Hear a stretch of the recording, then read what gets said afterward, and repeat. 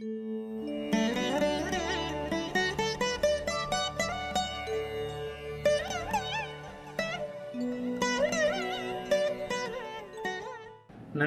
வணக்கம். எல்லோரும் நன்றாக இருப்பீர்கள். இன்றைக்கு கும்பத்தில் கிரகங்கள் அப்படிங்கிற தலைப்பில் பார்க்கலாம். ஆஹ் மெது மெதுவாக ஒவ்வொரு ராசியில் கிரகங்கள் அப்படிங்கிறத போட ஆரம்பித்து இன்றைக்கு காலபுருஷனின் பதினோராவது வீடான இறுதி வீடான மீனத்திற்கு முந்தைய வீடு கும்பத்திற்கு வந்து விட்டோம். ஆக காலபுருஷனின் பதி பதினோராம் வீடு. கும்பத்தில் இருக்கின்ற கிரகங்கள் என்ன பலன் எப்படிப்பட்ட பலனை தரும் அப்படிங்கிறதுக்கு முன்னாடி கும்பத்தின் தலம். எப்போதுமே நான் சொன்னதை சொல்வதைப் போல ஒரு கிரகம் எந்த வீட்டில் இருக்கிறதோ அந்த வீட்டின் தன்மையை பற்றி புரிந்து கொள்வது மிகவும் அவசியமான ஒன்று. ஆக இந்த நி- இந்த நிலையில் முதல்ல என்ன பார்க்கணும்? கும்பம் எப்படிப்பட்ட வீடு? ஜோதிடம் என்னும் தேவரகசியம் அல்லது உங்கள் ஜாதகம் யோக ஜாதகமா? நூலில் வந்து இதை பற்றி எழுதியிருக்கிறேன். கும்பம் காலபுருஷனுடைய கடைசி வீடாக மீனம் அமர்ந்தாலும் மீனமாக இருந்தாலும். காலபுருஷனுடைய கடைசி வீடு பன்னிரெண்டாம் வீடு மீனம்தான். ஆனால் ஒளி தத்துவத்தின் அடிப்படையில் கும்பமே அதிக தூரமுள்ள வீடாக அமையும். ஆகவே கும்பத்திற்கென்று சில தனித்த சிறப்புகள் உண்டு. எந்த ஒரு கிரகமுமே கும்பத்திற்கு கும்ப லக்னத்தில் பிறந்தவர்களுக்கு யாருமே யோகராக மாட்டார்கள் லக்னாதிபதி உட்பட அப்படின்னு ஒரு இடத்துல எழுதியிருந்தேன்.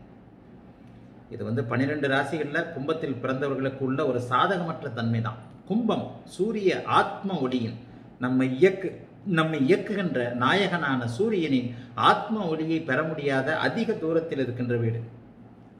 ராசி கட்டம் என்பது வட்ட வடிவம். நம்முடைய பார்வை கோணத்திற்கு வசதியாக அதை வந்து நம்ம சதுரமாக்கி கொள்கிறோம் அந்த சதுரமாக்கிய அமைப்பின் அடிப்படையில் பனிரெண்டாவது வீடமா வீடாக மீனம் வருகிறது. ஆயினும் மீனத்தையும் தாண்டி இறுதி நிலையாக இருக்கக்கூடியது கும்பம்தான். சூரிய ஒளியின் கடைசி இருள் பகுதியாக சூரிய ஒளியை கிடைக்கக்கூடாத கிடைக்க முடியாத இயலாத பகுதியாக கும்பம் இருக்கும். அந்த கும்பம் அந்த கும்பத்தில் தான் வந்து இந்த ஒரு காரணத்திற்காகத்தான் கடைசி பாபத்துவ ராசி என்பதனால்தான் இந்த அமைப்பில் அதுவும் வந்து சர வீடுகள் சர ராசிகள் சற்று மேன்மையானவை அப்படின்றத அடிக்கடி சொல்லியிருக்கிறேன். அப்போ சர வீடுகள் மேன்மையானவைன்னா அதனை அடுத்த வீடுகளில் உபய வீடுகள் கடைநிலையாகவும் அதனை அடுத்து ஸ்திர வீடுகள் இதாகவும் வரும். ஒரு முதன்மை பெற்ற ராசி சர ராசி தான். அதனால தான் மகர ராசியை சொல்லும்போது இதை பற்றிலாம் நம்ம சொல்லலை. கும்பத்திற்கு மட்டும் பார்த்தீங்கன்னா லக்னாதிபதியே பன்னிரெண்டு குடையவனாக வருவார். சனி பன்னிரெண்டு குடைய பாவியாக வருவார்.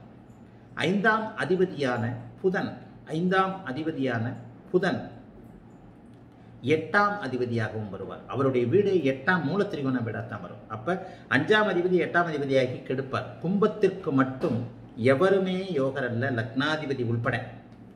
அது ஒரு இந்த ராசி. ஏனென்றால் அது வந்து ஒரு அப்போ நாங்கள் பாவமா பாவத்தை அதாவது பாவிகளா கொடுத்து வைக்காதவங்களா அப்படின்னு கேட்டிங்கன்னா சில நிலைகளில் சிலவை சிலவை அப்படித்தான்.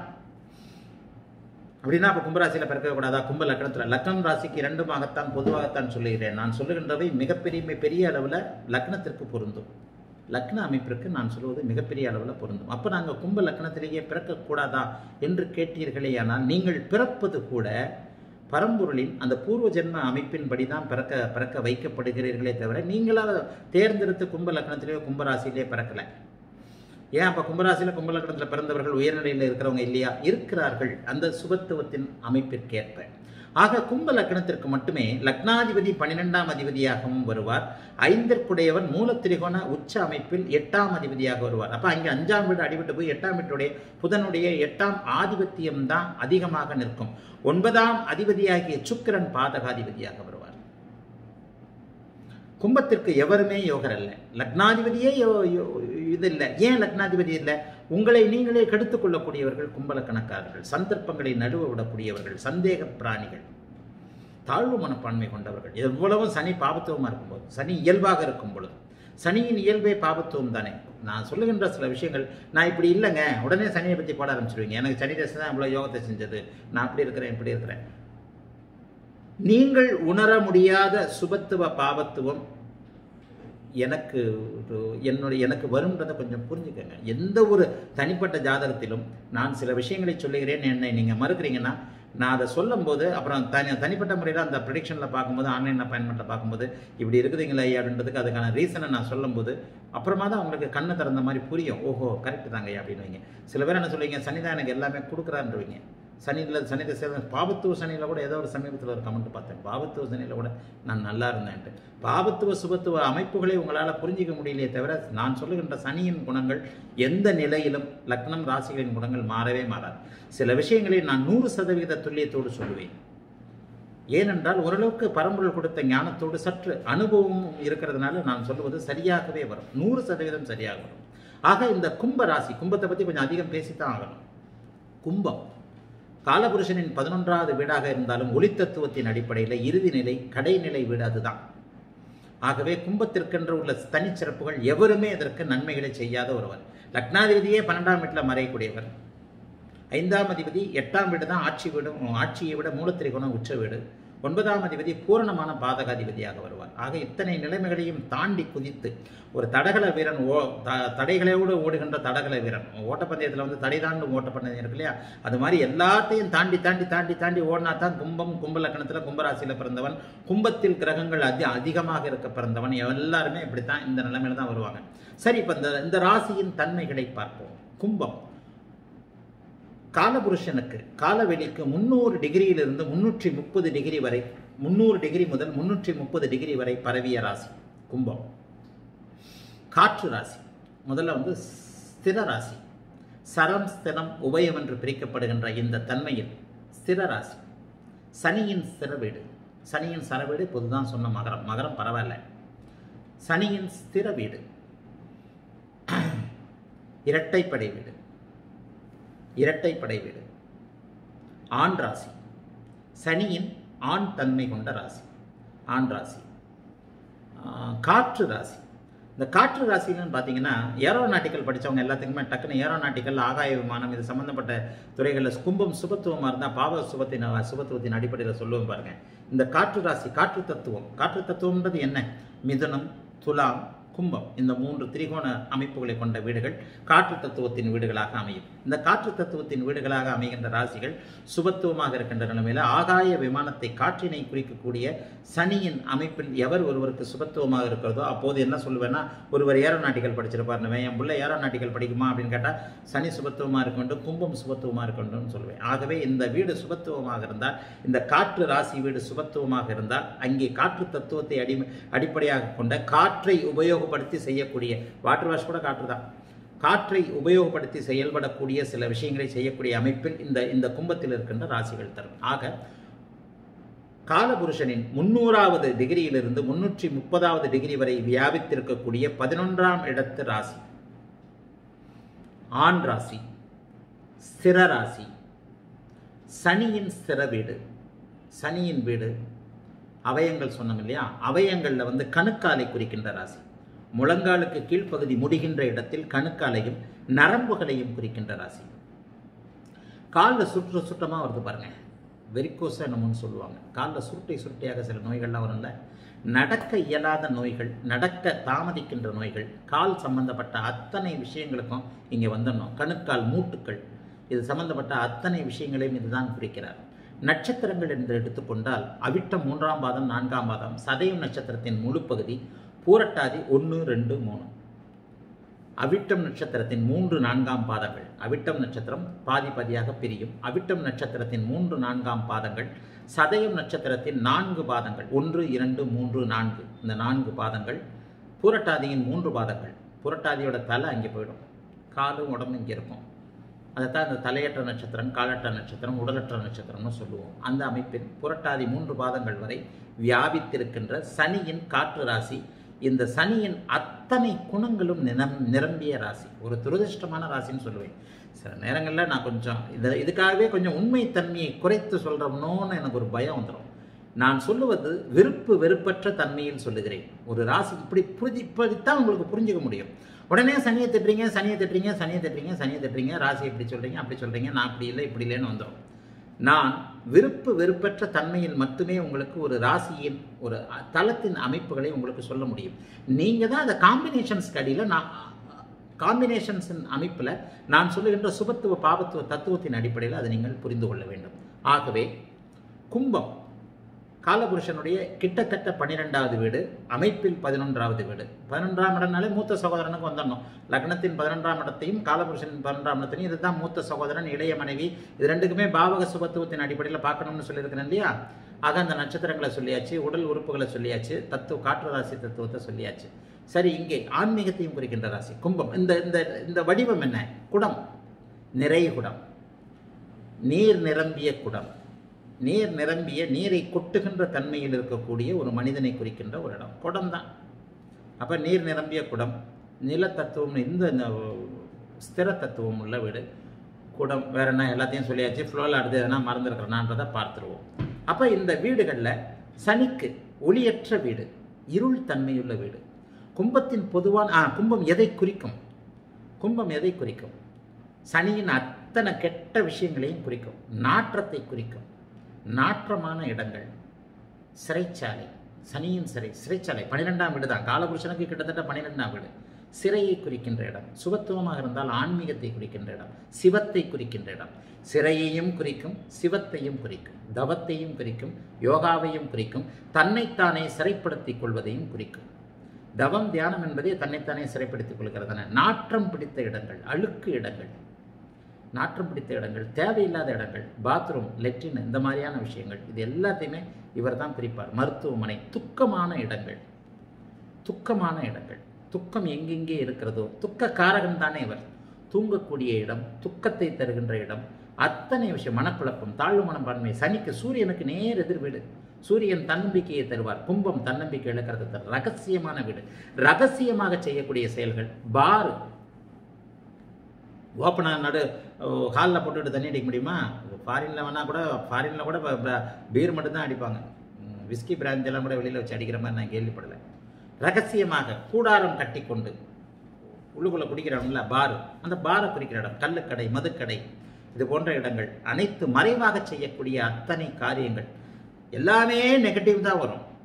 கும்பம்னு எடுத்துக்கிட்டிங்கன்னா ஆல் நெகட்டிவ் ஆனால் அந்த கும்பம் இருக்கின்ற சுபத்துவத்தின் அடிப்படையில் கும்பநாதன் இருக்கின்ற சுபத்துவத்தின் அடிப்படையில் கும்பத்தில் இருக்கின்ற கிரகங்களின் சுபத்துவத்தின் அடிப்படையில் இத்தனை பலன்களும் கூடுதல் குறைவாக இருக்கும். அவ்வளோதான் ஒரு தத்துவத்தை நீங்கள் முழுமையாக புரிந்து கொள்ள வேண்டும். எந்த வீடு எதை தரும் என்பதை புரிந்து கொண்டு அதன் மேல் அமர்ந்திருக்கின்ற கிரகங்கள் சுபத்துவ பாவத்துவ அமைப்பில் எப்படி இருக்கின்றன என்பதை புரிஞ்சுக்கிட்டா டக்கு டக்கு டக்கு டக்குன்னு ப்ரொடிக்ஷன் அப்படியே கண்ணு திறந்த மாதிரி ஓப்பன் ஆகிடும் அதை தவிர்த்து வேறு எந்த நிலையிலும் நீங்கள் வந்து அந்த இந்த ஒளி தத்துவத்தை தவிர்த்து சுபத்துவ பாவத்துவத்தை தவிர்த்து நீங்கள் புரிந்து கொள்ளவே முடியாது. இதுதான் வந்து ஒரு பெரிய விஷயம். சரியா? ஆக கும்பம் மருத்துவமனை துக்கம் உங்களுக்கு என்னென்னலாம் ஆகாதோ அந்த அமைப்பு கும்பத்தை குறித்த கும்ப லக்கணத்தில் பிறந்தவர் சரி ஒரு கும்ப லக்கணத்தில் பிறந்தவருடைய இயல்பே அதுதான். குள்ளமாக இருப்பார். ரகசியம் காப்பார். அழுகிறானா சிரிக்கிறானான்னு பா தெரியாம ஒருத்தன் இருக்கிறான்ல அழுகிறானா சிரிக்கிறானானே தெரியாது. நண்பர்கள் இன்றி இருப்பார். தனிமை ஏகாந்த விரும்பி. தனிமையை தனிமையில் இருக்கக்கூடிய விஷயங்களை செய்யக்கூடிய அமைப்பு. தனிமையில் நம்ம செஞ்சோம்னா கடவுளை தவிர வேறு யாருக்குமே எதுவுமே தெரியாது இல்லையா? தனிமை விரும்பி. இருள் கிரகம் இருள் தன்மையுள்ள வீடு. ஏன்னா காலபுருஷனுடைய க- சூரியனுக்கு நேர் எதிரில் இருள் தன்மையில் ராத்திரியில் நைட் ஷிஃப்ட் பார்க்குறவங்கலாம் பார்த்தீங்கன்னா கும்பம் சுபத்துவமாக இருக்கும். கும்பம் பாபத்துவமாக இருக்கும். நைட் ஷிஃப்ட் பார்க்குறவங்க எல்லாம் இயல்பாக இருக்கும். பாபத்துவன்றதை விட இயல்பாக இருக்கும். அந்த இயல்பு பாபத்துவம் சுபத்துவன்றதை நம்ம அடிக்கடி சொல்கிறோம் அதை நீங்கள் புரிஞ்சுக்கணும். அப்போ இருள் தன்மையுள்ள வீடு தன்னம்பிக்கை இழக்க வைக்கின்ற வீடு நாற்றம் பிடித்த வீடுகள் பழையவை இடிந்த கட்டிடம் குப்பை என்னது சொல்லுவோம்? குட்டிச்சுவர் குட்டிச்சுவர் இடிந்த கட்டிடம் வேறு சில அருவருக்கத்தக்க விஷயங்கள். இதுவையில் எல்லாத்தையுமே கும்பம் தான் குறிக்கும். சுபத்துவமான ஆன்மீகத்தை குறிக்கும். சரி இந்த நிலைமையில் ஃப்ளோவில் அடுத்து வரும்போது ஒவ்வொரு கிரகமாக சொல்லுவோம். சனிக்கு ஆன வீடு. சனியின் நண்பர்களான இவர் இருக்கலாம் யார் இருக்கலாம் சுக்கிரனும் புதனும் இருக்கலாம். இந்த கும்பத்தில் சனியின் நண்பர்களான சுக்கிரனும் புதனும் இருக்கலாம். அதே நேரத்தில் இன்னொரு சனியின் நண்பரான ராகு இருக்கக்கூடாது. ஏன்னா ராகு வந்து சனி செவ்வாயுடைய ஸ்திர வீடுகளில் இருக்கும்போது ஏன் இருக்கக்கூடாது? இருக்கலாம். சனியை அப்படியே பிரதிபலிப்பார். நமக்கு சனி தேவையில்லையே. பேசிக்க புரிஞ்சுக்கணும். சனிக்கு மூவர் நண்பர். சுக்கிரன் புதன் ராகு. சனியே இங்கே இருக்கக்கூடாது. ஆட்சியாக இருக்கக்கூடாது. இருக்கக்கூடாதுன்னு தானே நான் சொல்கிறேன் ஏன் அப்ப ராகு இருக்கக்கூடாதுன்னு வந்ததுன்னா சனியை போல அவர் செயல்படுவார் என்பதால் இருக்கக்கூடாது.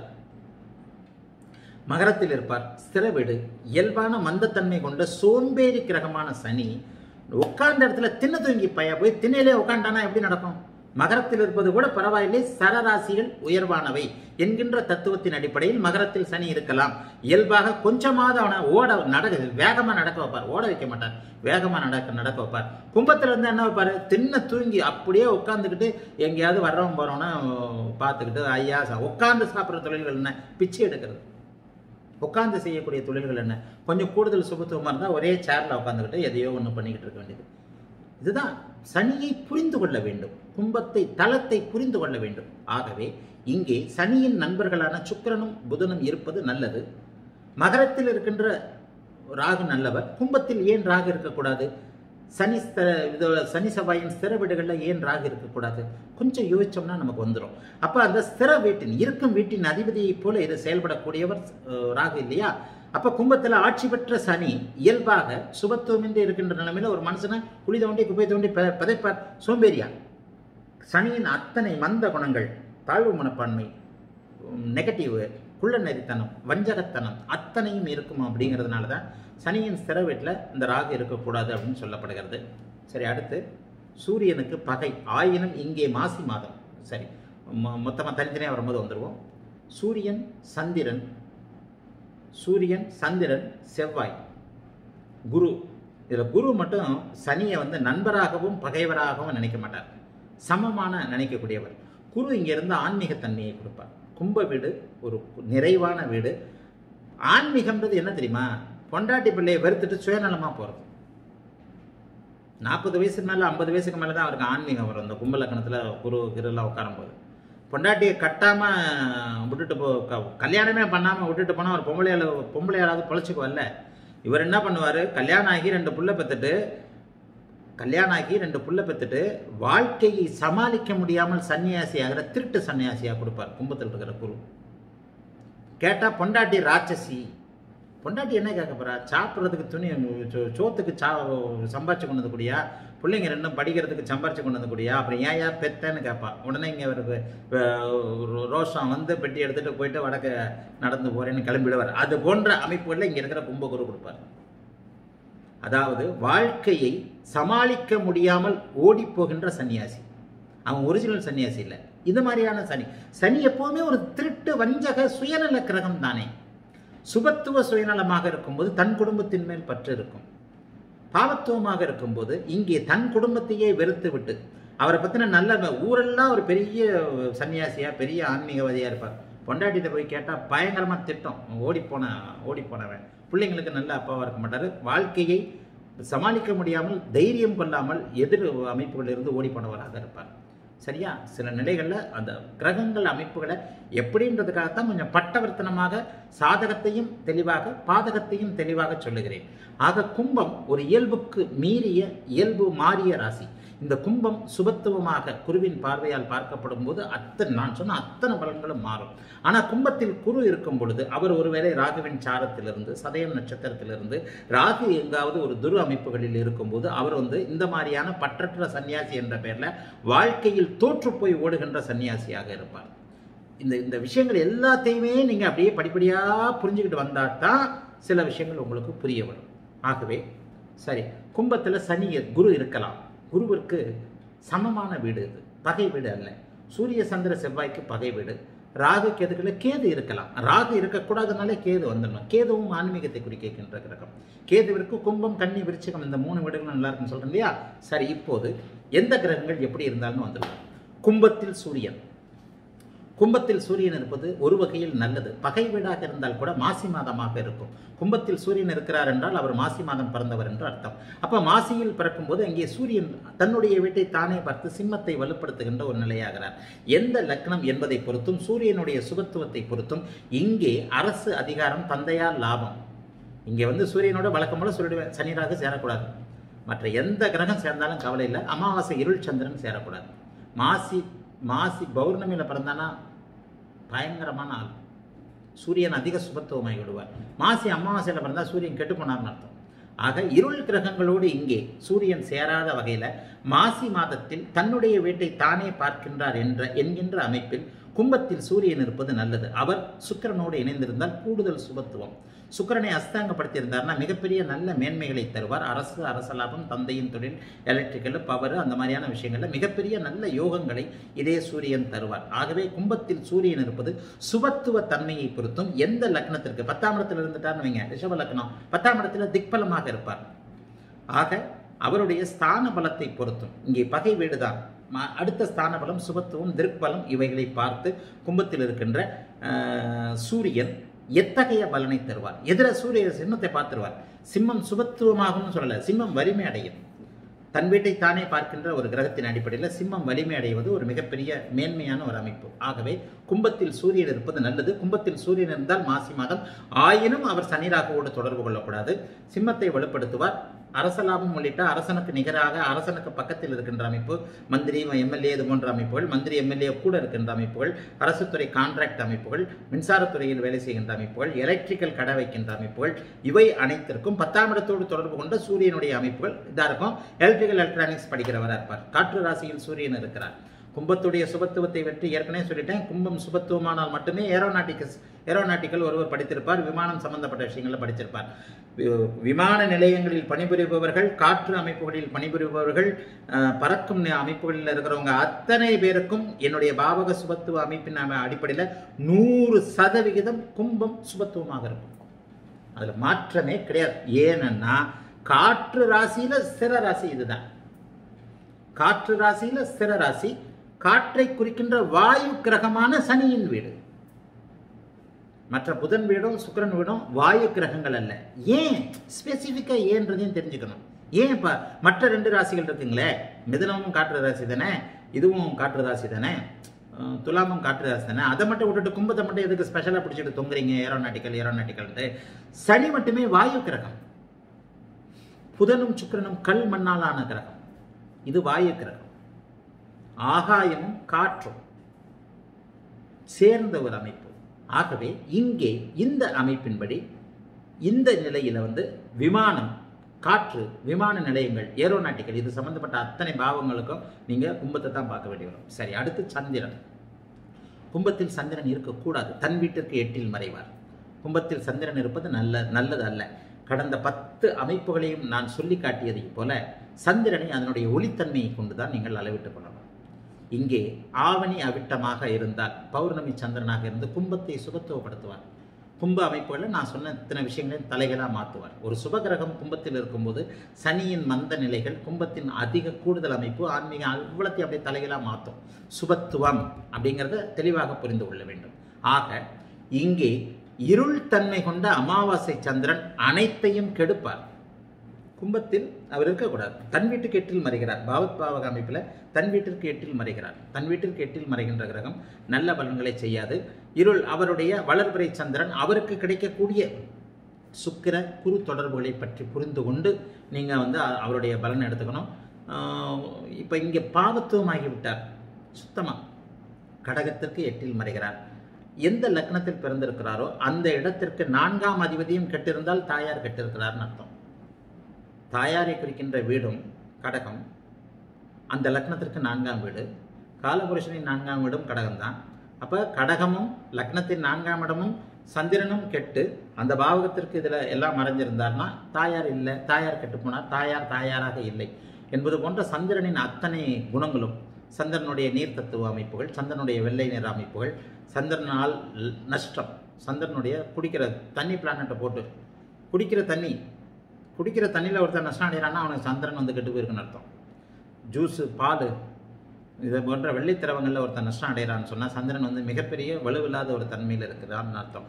என்னுடைய இன்னொரு நூறு சதவீத சுபத்துவ விதி ஒருவர் எந்த கிர ஒருவர் ஜாதகத்தில் எந்த கிரகம் அதிகமான சுபத்துவத்தை சுபத்துவமாக இருக்கிறதோ அந்த கிரகத்தின் எண்ணங்களும் தொழில்களும் அமையும். அதில் தான் அவர் சம்பாரிச்சிருப்பார்னு அடிக்கடி சொல்லுவேன். இதெல்லாம் நூறு ஹண்ட்ரட் பர்சன்ட் ஆயிரக்கணக்கான ஜாதகங்களை நிரூபித்திருக்கிறேன். ஆயிரக்கணக்கான ஜாதகங்களை ஆய்வு செய்ததற்கு பிறகு தான் இதை சொல்கிறேன் தொழில் அமைப்புகளுக்கு நான் இதெல்லாம் ஒரு புத்தகமாக வரும்போது அதான் நான் சொன்ன மாதிரி எனக்கு பின்னால் என்னுடைய சுபத்துவ பாவத்துவ தத்துவங்கள் நிற்கும் என்று நான் சொன்னதைப் போல் இந்தவும் சந்திரன் அமைப்பும் இப்படி தான் இருக்கும். சரியா? அடுத்து செவ்வாய். கும்பத்தில் செவ்வாய். கும்பத்தில் செவ்வாய் இருக்கும்போது சில நிறைய நேரங்களில் பரிவர்த்தனை நடக்கும். செவ்வாயும் சனியும். கும்பத்தில் செவ்வாய் இருக்கக்கூடாது. அதே நேரத்தில் மேஷத்திற்கு தன் வீட்டிற்கு பதினொன்றுலையும் இந்த வீட்டுக்கு கேந்திரத்துலேயும் வருவார். அதனால் ஒரு சில நிலைகளில் அவருடைய ஏன்னா செவ்வாய் வந்து வலுத்திருக்கிறது நல்லது இல்லைன்னு தானே சொல்கிறேன் முக்கால் பங்கு நல்லது இல்லை இல்லையா? கும்பத்தில் இருக்கின்ற செவ்வாய் சனியின் தளத்தில் இருக்கிறார். ஒரு சனியின் வீட்டில் இருக்கின்ற இன்னொரு பாப கிரகமான செவ்வாய் பாபத்துவத்தை ச- பாபத்துவத்தை அப்படியே கொண்டு வந்துடுங்க. சனியின் வீடு. ஏற்கனவே பாபத்துவமான வீடு. சம உச்ச வீடுன்னு சொல்லுவோம். இங்கே மகரத்தில் அவர் உச்சமாவார். அந்த உச்சமாகின்ற இன்னொரு வீடு உச்சநாதனின் இன்னொரு வீடு சம உச்ச வீடு என்று சொல்லப்படக்கூடிய வீடு. ஆக கும்பத்தில் செவ்வாய் இருப்பது நல்லது அல்ல. தன் வீட்டிற்கு பதினொன்றாம் வீட்டிலையும் இன்னொரு வீட்டிற்கு நான்காம் வீட்டிலும் அவர் இருப்பது பாவ கிரகங்கள் வலிமை அடைவது நல்லதல்ல என்கின்ற அமைப்பில் ஒரு சுவரின் வீட்டில் இல்லாத செவ்வாய் குறைகளை செய்வார். கும்ப செவ்வாய் என்ன? சகோதரகாரகன் சகோதரனை கெடுப்பார். தைரியம் வீரியம் என்ற பெயரில் ரவுடி பய குற்றச்செயல்கள் அந்த அதை செய்கிற எதையும் தைரியமாக செய்யக்கூடிய குற்றச்செயல்களை க ஓங்கி செய்யக்கூடிய ஒரு நிலையை கொடுப்பார். செவ்வாயின் காரகத்துவங்கள் கெடும் சிகப்பு நிறம் கெடும் செவ்வாயின் அத்தனை அமைப்புகளும் கெடும் சுபத்துவமாக இல்லாத பட்சத்தில். நேர்வலுவாக இருக்கின்ற ஒரு அமைப்பை மட்டும் பற்றி பற்றி மட்டும்தான் இங்கே பேச்சு. கும்பத்தில் கிரகங்கள் கும்ப செவ்வாய் நல்லதல்ல. கோபக்காரனாக முன்யோசனை இல்லாதவனாக தன்னுடைய குணங்களை கொஞ்சம் சற்று அதிகப்படுத்தி பாவத்துவமாக கொடுக்கக்கூடிய ஒரு தன்மையில் அந்த இங்கே கும்பச்செவ்வாய் இருப்பார். சுபத்துவம் பாவத்துவம் கூடுதல் குறைகளை கொடுக்கும். கும்பச்செவ்வாயை குரு பார்த்துட்டார் சக்குரம் சேர்ந்துட்டார் பலன் மாறும். சரியா? ஆக கும்பத்தில் அவருக்கு பகை வீடு இயல்பு தன்மையையும் பாவத்துவமாக கூட்டி கூட்டி கொடுக்கின்ற வீடு. ஆக எந்த ஒரு நிலையிலும் சனியின் வீட்டில் இன்னொரு பாவர் இருக்கிறார் என்பது நல்லவன்களை செவ்வாய் தசையில் செய்யாது. அப்படி செவ்வாய் தசையில் செய்யுது சுபத்துவமாக இருக்கிறார்னு அர்த்தம். சரியா? அதனை அடுத்து புதன் நீச்சத்தை நோக்கி போய் கொண்டிருக்கிறார். ஆயினும் சனியின் சிற வீடு இவருக்கு மிகவும் நல்ல வீடு பிடிச்ச வீடு நட்பு வீடு. மகரம் அதிநட்புனாலே நல்ல நட்பு வீடு. சனியின் வீட்டில் அவருக்கு நல்லா இருக்கும். ஆனால் நீச்சத்தை நோக்கி போய் கொண்டிருக்கிறார். தன் வீட்டிற்கு கன்னிக்கு ஆறில் மறைவார். ஞான வீட்டிற்கு ஒன்பதிலும் கல்வி அறிவு வீட்டிற்கு ஆறிலும் மறைவார். மிதுனம் பலம் பெறும்.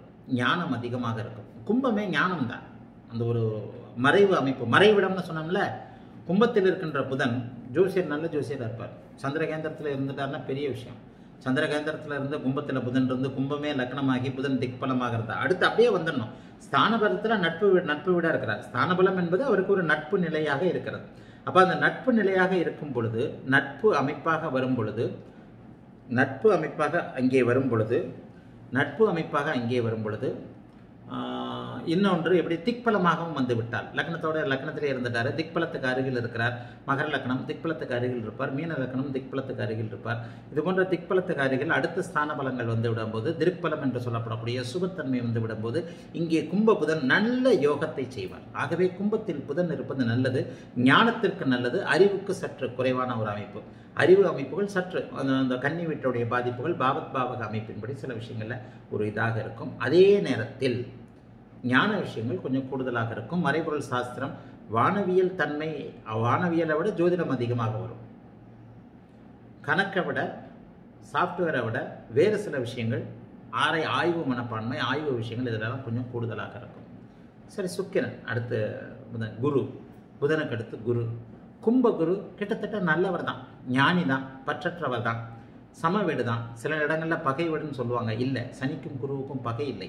சனிக்கும் குருவுக்கும் சமம் தான் சனியை பிடிக்கும். குருவும் சனியும் சேர்ந்தால் சனியின் குணம் இயல்பு மாறும் மாறி ஆன்மீகத்திற்கு போவார். எவர் ஒருவருடைய ஜாதகத்தில் குரு சனிக்கு ஏது கூட்டு இருந்தார்? அது லக்னம் ராசியோடு தொடர்பு கொண்டால் அவர் வந்து ஞானின்னு சொல்கிறேன் இல்லையா? இப்போ ஒரு இயல்பான ஒன்று சொன்னேன்ல கும்பத்தில் இருக்கிற சனி குடும்பத்தை விட்டுட்டு ஓடி போகிற சனி. குடும்பம் உண்டாகிறதுக்கு முன்னாடியே சன்னியாசி ஆகிறவன் யோக்கிய ஒரு பொண்ணோட வாழ்க்கையை கெடுக்காதவன். குடும்பம் வந்து ரெண்டு மூணு புள்ள பெற்று அஞ்சாறு புள்ள பெற்று பிள்ளைக்கு சோறு போட முடியல கொண்டாடி திட்டுறா மானாங்கனியாக கேள்வி கேட்குறானோன்னு விட்டுட்டு ஓடி போகிறவன் இந்த சன்னியாசி கும்பத்தில் இருக்கிற குரு இருக்கிற சன்னியாசி. குடும்பத்தை தவிக்க விட்டுட்டு சுயநலம் சுயநலத்தோடு தான் மட்டும் ஒழுங்காக எங்கேயாவது பத்து வீட்டு சோறு தின்னா போகணும் அப்படின்னு நினச்சிட்டு ஓடுற ஒரு ஒரு மாதிரியான நிலைமையை தான் கொடுப்பார்.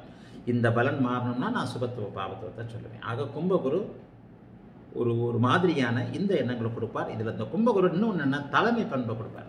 ஏன்? யோசிங்க பார்ப்போம் கும்பகுரு ஏன் தலைமை பண்பை கொடுப்பார்? யோசித்தார் சிம்மத்தை பார்ப்பார்.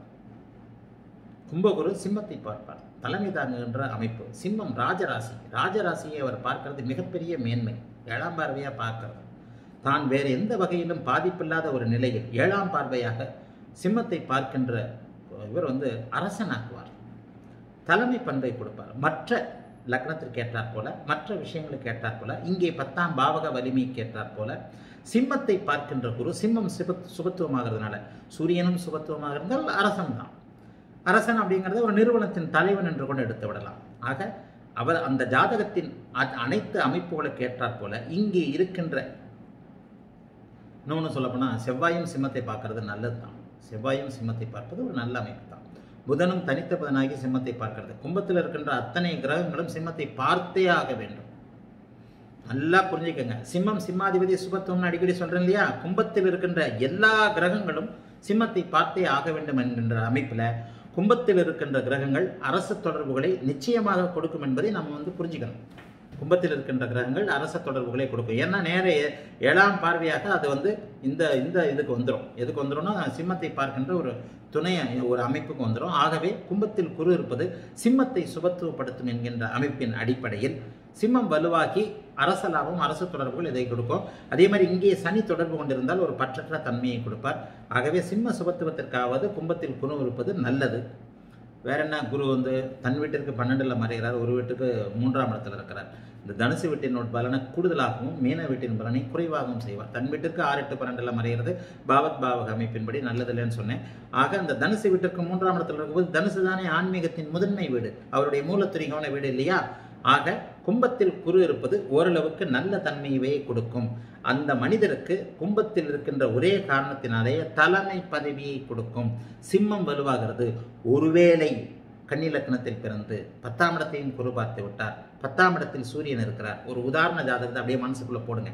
டக்கு டக்கு டக்குன்னு தலைமை பதவி பெரிய பெரிய நிர்வாக அமைப்புகளில் இருக்கிறவங்கள பார்த்தீங்கன்னா சிம்மம் வலுவாகி சிம்மாதிபதி சுபத்துவமாகி சூரியன் திக்பலம் சிம்மாதிபதியாகிய சூரியன் திக்பலமாக இருக்கின்ற நிலைமையில சிம்மாதிபதி சூரியன் திக்பலமாக இருக்கின்ற நிலைமையில் அதாவது இந்த மறைவு ஸ்தானாதெல்லாம் எடுக்க வேண்டாம் கன்னி லக்னம் பத்தில் சூரியன் திக்பலம் கும்பத்தில் இருந்து ஆறாம் இடத்திலிருந்து சூரியனை வந்து ஐந்தாம் பார்வையாக பார்க்கிறார் ஏழாம் பார்வையாக சிம்மத்தை பார்க்கிறார் குருன்னு வச்சுக்குவோம் அவர் தலைமை பதவியில் இருப்பார் இன்றைக்கு காலையில் கூட ஏதோ ஒரு இன்றைக்கு காலையில் இன்றைக்கு காலையில் ஆதித்ய பிர்லா குரூப்பை சேர்ந்த ஆதித்ய பிர்லா குரூப்பை சேர்ந்த ஒருவர் இன்றைக்கு பேசினார். ஒரு உ- உயர்நிலையில் இருக்கிறவர். எடுத்தடுப்பிலே நான் வந்து கடகடன்னு பேசிக்கிட்டே இருக்கும்போது ஒரு நிறுவனத்தின் உயர் அதிகாரியாக இருக்கிறீர்கள். இந்த இன்னும் ஐந்து ஆறு வருடங்களில் சிஇஓ என்று சொல்லப்படக்கூடிய வைஸ் பிரசிடென்ட் என்று சொல்லப்படக்கூடிய உயர்நிலைக்கு போவீர்கள் அப்படின்னு கடகடன் என்னுடைய ஸ்டைலில் நான் ப்ரெடிக்ட் பண்ணிவிட்டேன் ஒரு அஞ்சு நிமிஷம் சொன்னேன். அதுக்கப்புறம் தான் அவர் சொன்னார் இந்த கம்பெனியில் நான் வந்து இந்த ரேங்க்கில் இருக்கிறேன். நீங்கள் சொன்னது கரெக்ட் குறிச்சி இன்னும் மூன்று நான்கு வருஷங்களில் என்னுடைய ப்ரொமோஷன் அடிப்படையில் நான் அந்த அந்த நிலைமைக்கு வருவேன் அப்படின்னு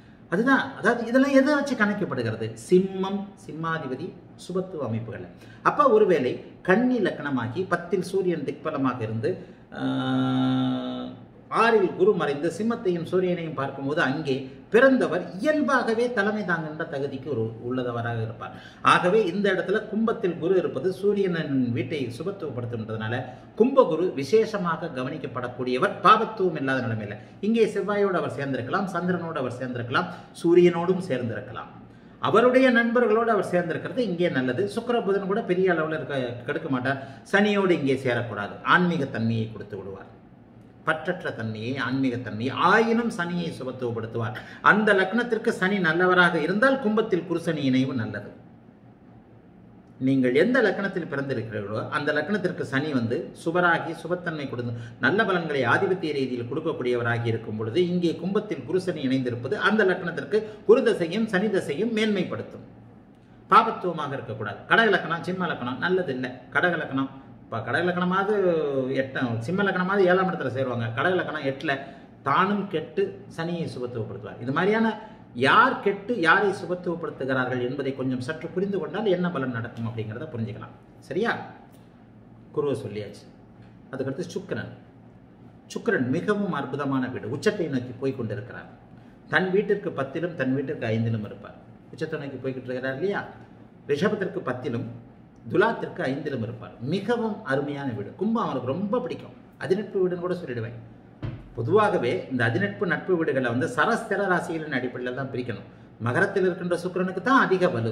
சர ராசியில் இருக்கிறார் என்கின்ற முறையில். ஆயினும் இங்கே தனித்து சுக்கிரன் இருப்பது அந்த மேற்கொண்டு ஏழாம் பார்வையாக சிம்மத்தை சுபத்துவப்படுத்துவார். அரசனுக்கு அதிகாரத்திற்கு அத்தனைக்கும் நல்ல ஒரு அமைப்பு. ஆகவே கும்பத்தில் சுக்கிரன் இருப்பவன் தனித்து தனித்து இருப்பவன் கும்பத்தில் சுக்கிரன் இருந்து தனித்த அந்த த- தசை வர்றவன் மிகவும் கொடுத்து வைத்தவனாக இருப்பான். அதிகார அமைப்பு. லக்கணத்தோடு பொருத்தி பார்த்து எந்த லக்கணங்களுக்கு அவர் உடையவர்? தனுசு மீன லக்கணமாக இருந்தால் கூட தனுசு லக்கணமாக இருந்தால் கூட மூன்றாம் இடத்துல தான் இருப்பார். நல்ல நல்ல பலனை தருவார். அதாவது அவயோர்கள் மூன்று அறுபத்து பதினொன்றில் நல்ல பலன்களை தருவார்ன்ட்டு. மீன லக்கணமாக இருந்தால் கூட பன்னிரெண்டாம் இடம் எப்பயுமே அவருக்கு நல்ல வீடு. சுக்கிரனுக்கு. தனுசு மீன லக்கணத்துக்கு சுக்கரதசை நல்லதாக இருக்கக்கூடாது. ஆனாலும் கும்பத்தில் இருக்கின்ற சுக்கிரன் கெடுபலன்களை செய்ய மாட்டார். ஏன் கெடுபலன்களை செய்ய மாட்டார்? தனுசுக்கு பன்னெண்டுல வந்துருவார். பன்னிரெண்டாம் இடம் அவருக்கு மறைஸ்தானம் இல்லை. பன்னிரெண்டாம் இடம் கூடுதலாக நல்ல பலனை கொடுக்கக்கூடிய இடம். ஆக அந்த பன்னிரெண்டாம் இடத்தில் கும்பத்தில் உட்காந்து கெடுபலன்களை செய்ய மாட்டார். சார அடிப்படையை மட்டும்தான் அடுத்து பார்க்கணும். தனுசுக்கு மூன்றாம் இடத்தில் இருப்பார். கும்பத்தில் சிறராசியில் இருக்கிற சுக்கிரன் நல்ல பலன்களை தருவார். ஆக எந்த ஒரு நிலையிலும் கும்பத்தில் தனித்து சுக்கிரன் இருப்பது மிகப்பெரிய நல்ல பலன். அங்கே ராகுவோடு அவர் சேரக்கூடாது. சனியோடையும் சேர்ந்துடக்கூடாது சனியை சுபத்துவப்படுத்தி தான் கெடுவார். சனி ராகுவோடு சேர்ந்தால் சனி சுபத்துவமாகி சுக்கிர திசை கெடும். சனி திசை நன்றாக இருக்கும். ராகுவோடு சேர்ந்தால் தானும் கெடுவார். இருக்கின்ற எட்டு பதிமூணு இருபத்தி ரெண்டு டிகிரி கேட்பேன் அந்த அமைப்புகளை சொல்லியிருக்கிறேன் இல்லையா? எட்டாம் டி எட்டு டிகிரிக்குள் சுக்கிரனோடு சுக்கர ராகு இணைவு எப்படிப்பட்டிருக்குன்னா ஏற்கனவே சுக்கர ராகு காம்பினேஷன் புது வீடியோ போட்டிருக்கிறோம். அதை போய் பாருங்க. எட்டா எட்டு டிகிரிக்குள் சுக்கிரன் இணைந்தால் என்ன பலன்? பதிமூன்று டிகிரிக்குள் சுக்கிரன் இணைந்தால் குருவோடு இணைந்த ராகுவோடு இணைந்தால் என்ன பலன்? எல்லா டிக எல்லா இருள் எல்லா இருள் எல்லா ஒளி கிரகங்களுக்கும் இது பொருந்தும். அதை வேறு வேறு இதில் சொல்லித்தர்றேன் இருபத்தி ரெண்டு டிகிரிக்கு அப்பால் ஒரு கிரகத்தின் இணைவு இருந்தால் எப்படி இருக்கும் அப்படிங்கிறத பார்த்து கொள்ளலாம். அடுத்து வந்து சுக்கரன் சுக்கிரன் இருக்கிறது நல்லது. சிம்மத்திற்கும் நல்லதுன்றதை சொல்லிட்டேன். அதனால தனிச்சு இருக்கிறது நல்லது புதனோடு இருந்தால் மிகப்பெரிய மேன்மை. புதன் சுக்கரன் மட்டும் தனித்து கும்பத்தில் இருக்க பிறந்தவர்கள் புதன் தசையும் சுக்கர தசையும் கொடுத்து வைத்தவர்கள் தான். அது கூடுதலாக குருவின் பார்வை எங்காவது ஒரு இடத்துல இருந்தால் ரொம்ப நல்லது. ஆக ஒளி அரு இருள் கிரகங்களோடு இல்லாமல் புதனும் சுக்கிரனும் மட்டும் கும்பத்தில் தனித்திருந்தால் மிகப்பெரிய மேன்மையாக இருக்கும். சுக்கரன் இருக்கிறது நல்லது. அதனை அடுத்து சனி. கும்பத்தில் இருக்கவே கூடாத கிரகம். மூலத்திரிகோணம் விடவருக்கு அவருக்கு. சனி. கும்பத்தில் மட்டும் சனி உட்காந்துட்டாலே அப்படியே எல்லாத்தையும் கெடுப்பார். தகப்பனை கெடுப்பார். ஏன் கெடுப்பார்? நேரையெல்லாம் எங்கே பார்ப்பார்? சிம்மத்தை பார்ப்பார். சிம்மத்தையும் சிம்மாதிபதியும் தொடர்பு கொண்டால் தகப்பனை கெடுப்பார். தகப்பனை தின்னதுக்கி ஆக்குவார். தின்னதுங்கி ஆக்குவார். தகப்பன் தகப்பனாகவே இருக்க முடியாது. பாபத்துவமான சனி பார்த்தார். பாபத்து கூடுதல் பாபத்துவம் வந்து சுத்தம். சிம்மத்தை சுத்தமாக கெடுப்பார்.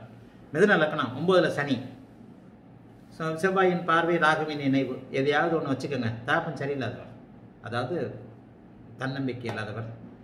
தகப்பனாக தன்னுடைய பொறுப்புகளை குடும்பத்திற்கு நிறைவேற்றாதவர் அந்த குழந்தைக்கு நிறைவேற்றாதவர் அர்த்தம். சனியின் பாவத்துவ சுபத்துவத்தின் அடிப்படையில் இதை நீங்கள் புரிஞ்சுக்கங்க. கும்பத்தில் சனி மிதுன லக்கணம் ஒன்பதில் கும்பத்தில் சனி. சனி மட்டும் தனிச்சிருக்கிறார் இயல்பாகவே கெட்டார். செவ்வாய் ராகுவோடு சேர்ந்திருக்கிறார் சுத்தமாக தகப்பனை கெடுத்தார். சனி தசை சுத்தம் மோசம். சூரிய தசை அதை விட சூரிய தசையில் தகப்பன் சுத்தம். பிள்ளைய நம்பி தகப்பன் இருப்பார். சூரிய தசையில் தகப்பனை அப்படியே இறக்கணும் கீழே கொண்டு வந்துடும் தகப்பனால் அந்த மிதுன லக்கண ஜாதகருக்கு சூரிய தசையில் தகப்பனால் வருத்தம்னு கொண்டு வந்துடும் ஏனென்றால் அங்கே சிம்மம் கெட்டு விட்டது ஒரு தசையின் அமைப்பை எப்படி கணிக்க வேண்டும் என்பது அந்த இரு அந்த இதையும் பார்த்து தான் சொல்லணும். ஆக இந்த அமைப்பில் சிம்ம கும்பத்தில் தனித்து சுபத்துவமின்றி இயல்பாக இருக்கக்கூடிய சனி நல்ல பலன்களை தரமாட்டான். கூடுதலாக என்ன சாரத்தில் இருக்கிறாரு? செவ்வாய் அவிட்டம் சதயம் புரட்டாய நட்சத்திரத்தில் இருப்பார். புரட்டாதி நட்சத்திரம் சுபச்சாரம் என்றால் கூட அந்த லக்னத்திற்கு குரு என்னவா ராகு சதய நட்சத்திரத்தில் இருக்கிறார். ராகு சுபத்துவம் இல்லைன்னா கூடுதலான கெடுபலன்கள் இருக்கும். ஆகவே சுபத்துவமின்றி தனித்து மூலத்திரிகோண நிலையில் சனி இங்கே கும்பத்தில் இருப்பது நல்லது அல்ல சனி தசையில். மற்ற விஷயங்களை லக்னத்திற்கு கேட்டார் போல ஆதிபத்திய அமைப்புகளை கேட்டார் போல புரிஞ்சுக்கணும். பாவத்துவமாக இருந்தால் கூடுதலாக என்ன பண்ணுவார்? சிம்மத்தை கெடுப்பார். சு தந்தையை கெடுப்பார். தகப்பன் அமைப்புகளை கெடுப்பார். அவருடைய அமைப்பு லக்னாதிபதியாகவே தான் இருக்கும் லக்னாதிபதியாக தனித்து கும்பத்தில் லக்னாதிபதியாக இருக்கிறவர் பார்த்தீங்கன்னா குள்ளமாக இருப்பார். சுபத்துவமின்றி இருக்கின்ற சனி குள்ளத்தை குறிப்பார். ஒல்லியாக இருக்க வைக்கிறவர் புதன் குண்டாக இருக்க வைக்கிறவர் குரு குள்ளமாக இருக்க வைக்கிறவர் சனி. இதெல்லாம் கொஞ்சம் தனித்தனியான விஷயங்கள். ஆக குள்ளமாக இருக்கக்கூடிய உயரமாக இருக்க வைக்கிறவர் யார்? நீங்கள் தான் சொல்லணும்.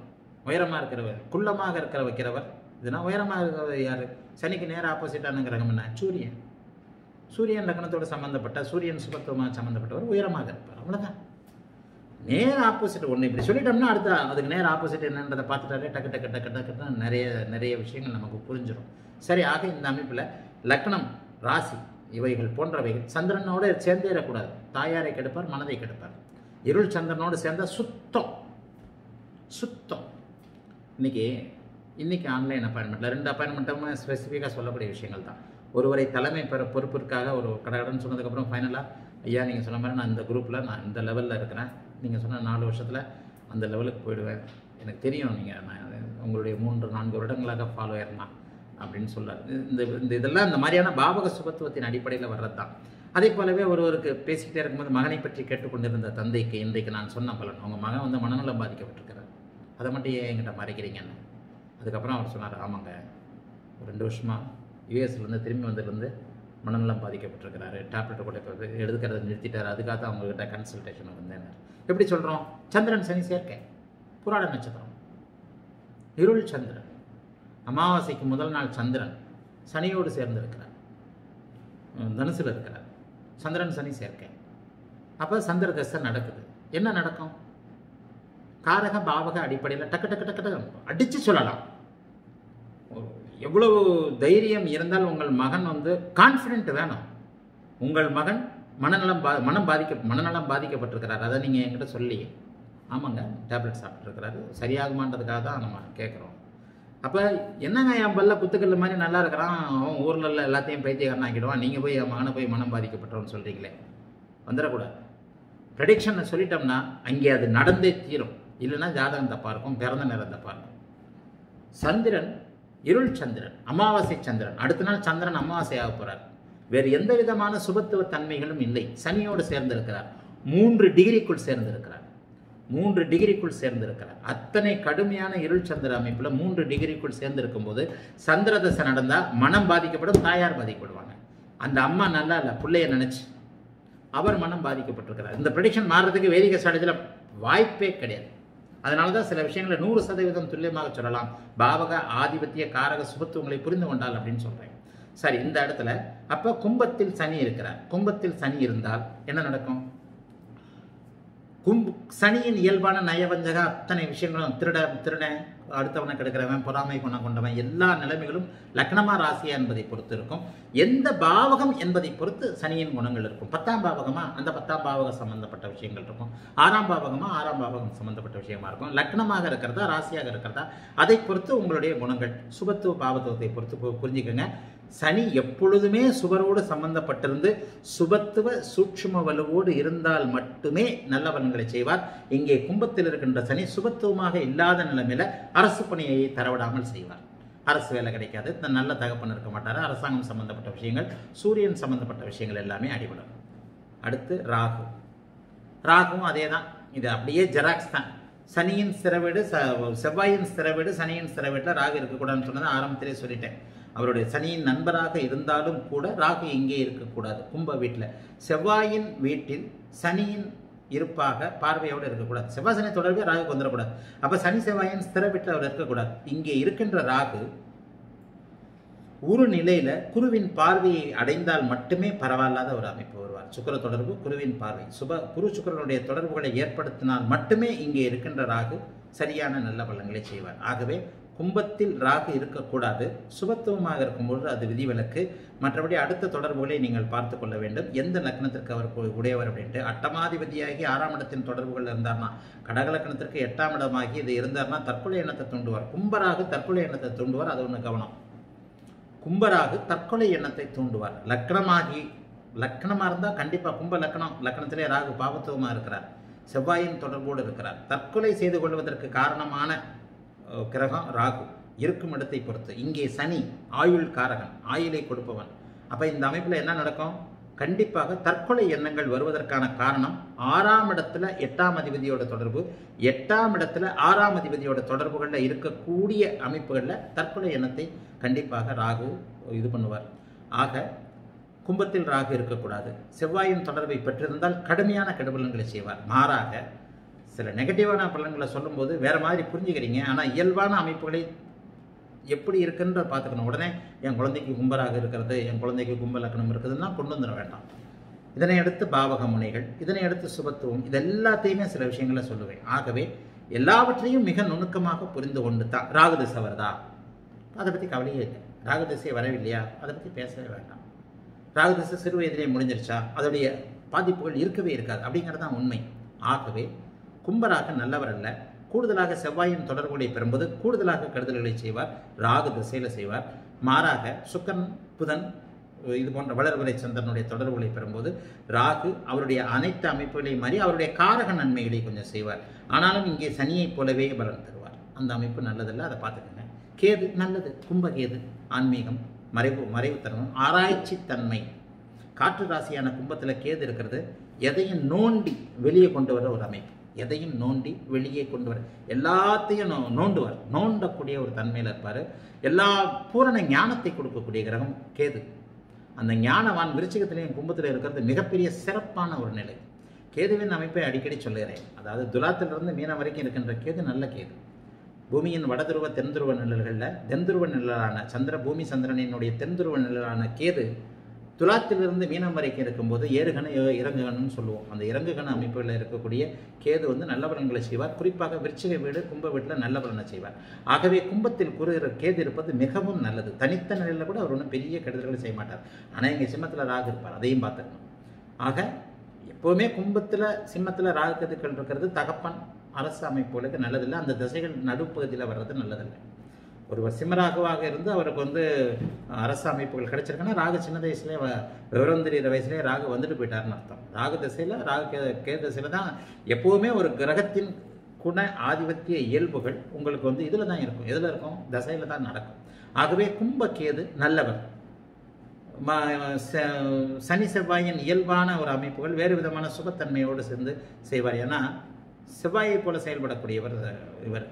எந்த லக்னம்ன்றதை நீங்கள் பார்த்துக்கணும். ஆதிபத்திய விசேஷத்தோடு இங்கே கேது இருந்தால் கும்பகேது நல்ல பலன்களை செய்வார் கெடுதல்களை செய்ய மாட்டார். கூடுதலாக சுக்கிரகுருவின் தொடர்புகளை பெற்றுவிட்டால் கொட்டு கொட்டென்று கொட்டுவார் கேது.